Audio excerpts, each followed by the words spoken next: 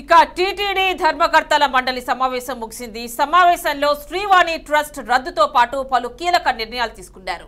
TTD న్యూస్లో పనిచేస్తోన్న అన్యమత ఉద్యోగులను ప్రభుత్వానికి అప్పగించాలని నిర్ణయించారు.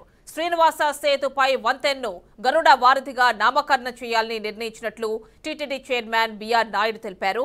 ధర్మకర్తల మండలి నిర్ణయాలను బిఆర్ నాయుడు వెల్లడించారు. సర్వదర్శనానికి వచ్చే భక్తులకు రెండు నుండి మూడు గంటల్లోగా దర్శన భాగ్యం కల్పించేలా చర్యలు తీసుకుంటున్నట్లు తెలిపారు.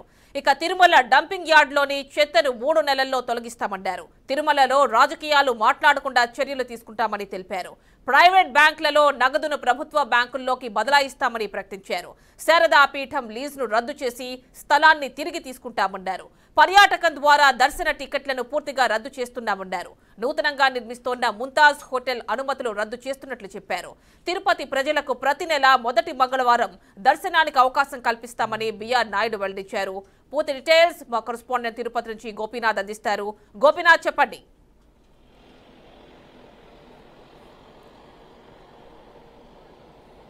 యామిని మొత్తం మీద తిరుమలలో ఇవాళ టీటీడీ పాలక తొలి పాలక మండలి సమావేశం జరిగింది. మొత్తం మీద తొలి పాలక మండలి సమావేశంలోనే చైర్మన్ బిఆర్ నాయుడుతో పాటు బోర్డు సభ్యులు చాలా కీలకమైనటువంటి అంశాలపైన దృష్టి పెట్టడం జరిగింది. ఇందులో ప్రధానంగా స్వామివారికి సంబంధించి సన్నిధిలో సేవ చేస్తూనే స్వామివారి సొమ్ము తింటూనే పెద్ద ఎత్తున ఇక్కడ అన్యమత ప్రచారానికి పాల్పడుతున్నటువంటి వారిపైన ఉద్యోగులపైన కఠిన చర్యలు తీసుకునే విధంగా కూడా ఎప్పుడూ లేని విధంగా కూడా టీటీడీ బోర్డు ఒక సంచలన నిర్ణయాన్ని తీసుకోవడం జరిగింది.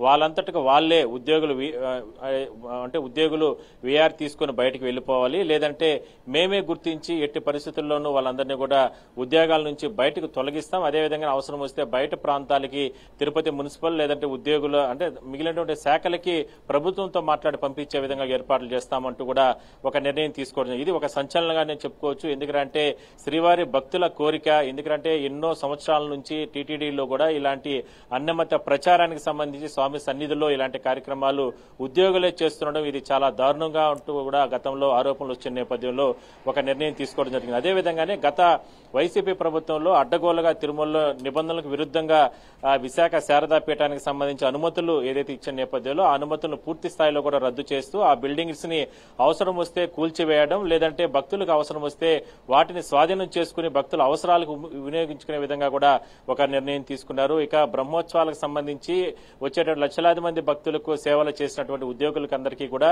వాళ్ళకి బ్రహ్మోత్సవ బహుమానాన్ని ప్రకటిస్తూ కూడా టీటీడీ ఒక నిర్ణయం తీసుకోవడం జరిగింది.